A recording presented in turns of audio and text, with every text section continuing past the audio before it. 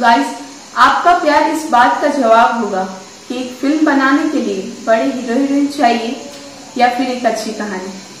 Please guys first जुलाई को हमारी मेहनत पे एक नज़र ज़रूर डालें। Thank you